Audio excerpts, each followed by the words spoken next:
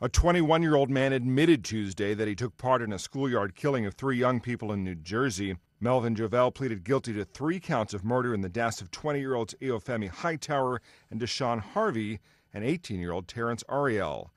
Jovel also pleaded guilty to the attempted murder of a fourth victim.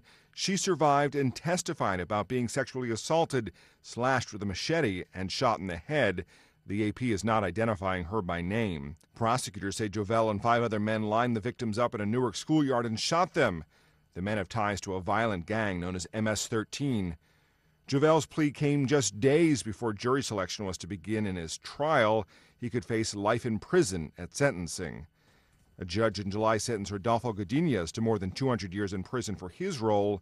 The four other suspects are awaiting trial. Matt Friedman, The Associated Press.